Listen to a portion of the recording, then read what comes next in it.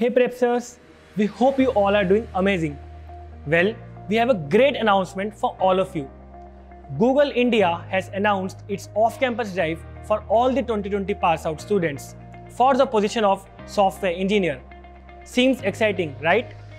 Well, the minimum qualifications expected from your side is that you must be having a good proficiency over programming languages such as C, C++, Java or Python you should be able to solve complex coding problems and convert the raw data into useful information.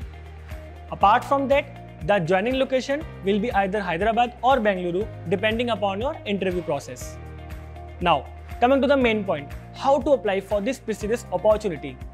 Well, we have already shared the registration link to our elite members as well as on our LinkedIn and Instagram page. So don't forget to check out there and follow us there to get updated for all the off-campus drives going to be happen next year or maybe this year for all the 2020 pass out students.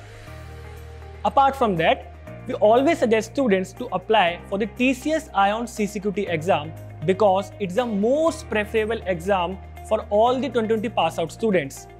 You give one exam and your score will be sent to more than 200 plus companies partnered with TCS Ion if you get selected and if you perform well during the exam, then you might get a chance to get selected by all the Tata Group companies.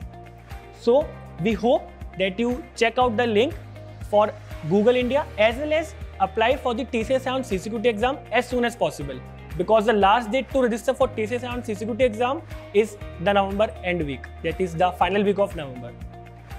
All the best students and see you in the next video.